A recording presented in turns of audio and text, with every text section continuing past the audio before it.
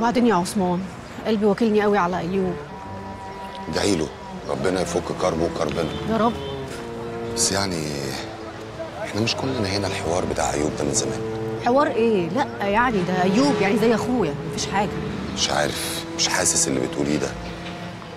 وكلمة أخويا دي كمان قلقاني لأ ما تقلقش. وبعدين حوار ابنه ده يعني هو ناقصه. ده شكله هيجيب داغه في الآخر الحوار ده والله يا عثمان. بالعكس ده ربنا بيحبه. البت اتخلت عنه مع أول حكم اتصل كنت عايزاها تبقى أم ابنه. يا شيخة سيبيها ربنا يسهل لها بقى. يا ريت يا رب. بقول لك إيه؟ إيه؟ أستاذ عايزة تكلمني تاني عنك. هو الجدع ده مش هيجيبها البر.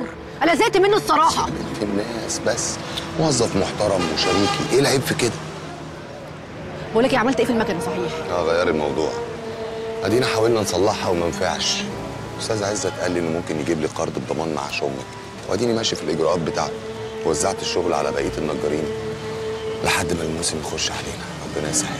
وهو أستاذ عزت بيعمل كده لله يعني؟ لا طبعا. أمال. عشان خاطر عينيكي اتفضلي. يلا روحي شوفي لك حاجة تركبيها وروحي.